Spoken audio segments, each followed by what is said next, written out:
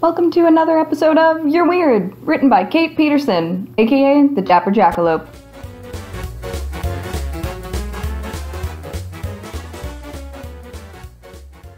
I hope you guys are ready for an episode with too much information because today we're going over 20 questions about the weirdo who owns this book. Me! Let's get into it. Alright, so first question what's my name? Shananigans. That one was pretty easy. Nicknames Shannon. I've been called that. Shanae name, also, less frequently, but I've been called that. Uh, Salamander was sort of a weird nickname I had in elementary school, and I'm not really sure why.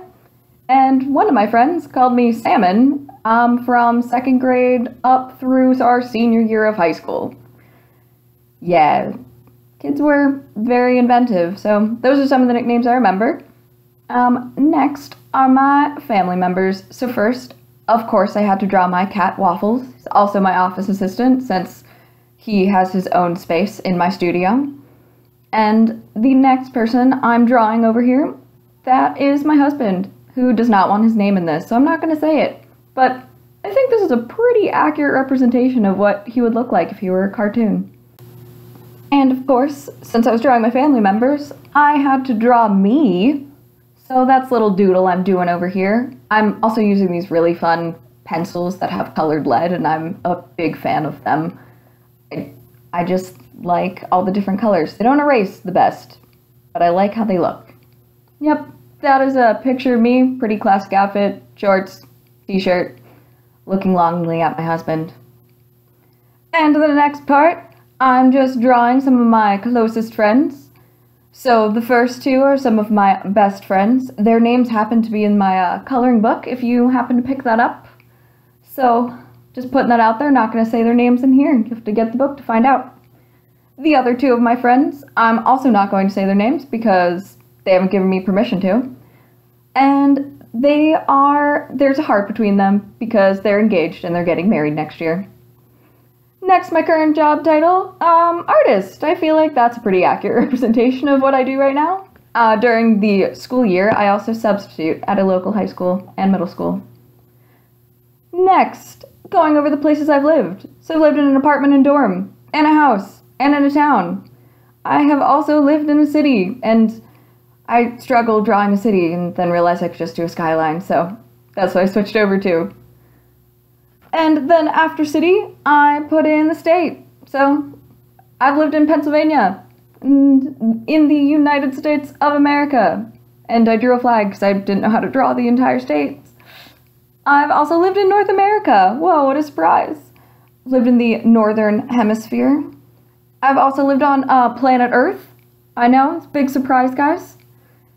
And I've also lived in our solar system. What a cute little sun with his little sunglasses. So happy. And I've lived in the uh, Milky Way galaxy. So yeah, those are all of the places I've lived. It's pretty extensive list.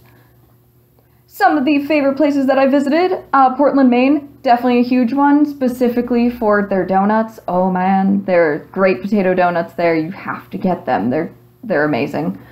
I also love New Orleans because they have these cool hidden art galleries back in different alleyways, and it was a lot of fun.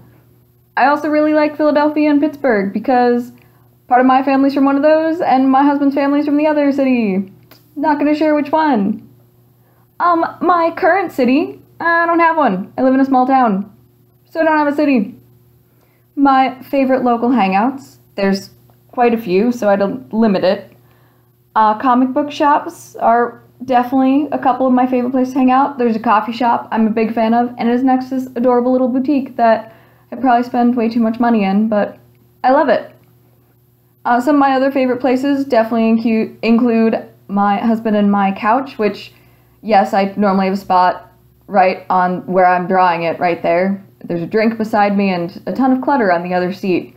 I like to nest when I hang out in our living room. I also like to hang out playing out games on my 3DS. And when I'm drawing over here, yeah, I like to play Pokemon the card game online. It's a problem, but it's legal, so it's not really an issue, right? That's how that works, right? So, some of my other favorite things to do, other than playing Pokemon, the trading card game, online is hanging out, drawing, sketching, doodling. I also like to collect and organize Pokemon cards. I'm an adult. I like to play video games. That controller looks a little bit too much like an Xbox One, but I'm definitely a Nintendo person.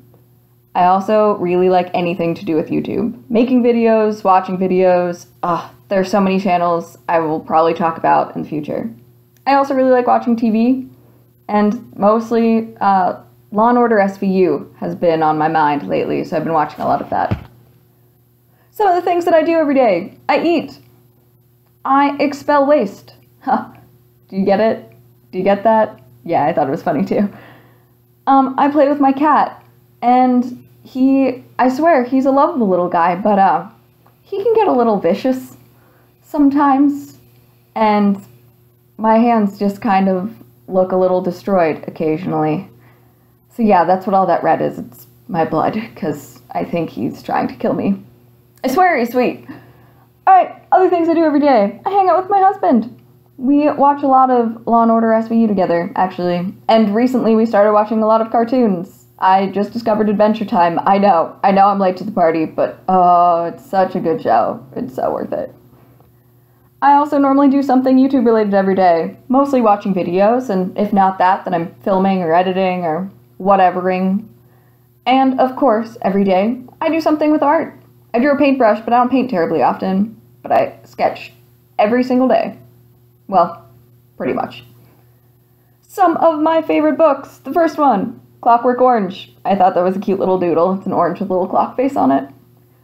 Another one of my favorite books, Fahrenheit 451. I recently read this and it's just, oh, it's just so good. I just love how it's written. I also really love the Harry Potter series. I know it's not the best Harry Potter doodle, but it's kind of cute. That uh, Red Rum, that is based off of Stephen King's The Shining. Anything Stephen King, I love. Oh, and another one of my favorite books uh, is this coloring book. I love most coloring books, but mostly mine. so made Derpy Doodle's coloring book. Uh, selfless plug. Alright, my favorite movies. The first one, of course, the Harry Potter series. I've read all the books, watched all the movies, and they're just they're just so great. I also love pretty much anything Disney. My best friends and I relate to all, almost all of these movies and just watch them all, and they're great. Also, of course, we love Disney Pixar. Just, oh, I'll probably talk about that another day too. Also, a big fan of Studio Ghibli, and My Neighbor Totoro was my first Studio Ghibli movie, so it has this special place in my heart. My best friend also introduced me to Studio Ghibli, and I do not regret it. Spirited Away is another one of my favorite movies. Alright, moving on to favorite bands. Of course, Fall Out Boy had to go on there. Skillet, another one that just, ugh. They're, they're, they're just great. They're great people. Rend Collective is another one. I didn't write it down and I'm kicking myself for it, but I also really love Train. They're, I've seen them in concert. I'm a little obsessed with Pat Monahan. Just, it's fine. It's not weird. It's not a weird age gap at all. Um, and my other favorite band, of course, is the local high school because they're awesome honestly, those kids, they act like they're this one big family and they're super supportive of each other. And I think we need more of that, especially for young teenagers. It's a really great group. Alright, my favorite foods. I love Brussels sprouts. I love peas. I love melons, especially honeydew and watermelon. I also really love strawberries. I know, it's not that exciting and it's not junk food. Oh, but I also really love Oreos. And it might be a problem and pancakes, of course, are another one of my favorite foods. Not waffles, because waffles is my cat, and I'm not gonna eat my cat, guys. Come on. Alright, some of my most prized possessions. This was kind of hard for me because I don't like to think of my things in this way where they're like prized, have to have, could not ever be without.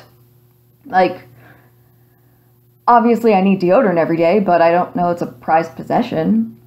So the first one I'm drawing is my baby blanket. It had this cute little teddy bear riding on a rocking horse, and I just, I loved that thing. It was my great grandma made it for me and then passed away before she got to meet me when I was born. So I love that blanket. Next, another prized possession, I guess, is my coloring book. because I made it and I'm really proud of it. And of course, my wedding rings, which they don't make me married, but I love them.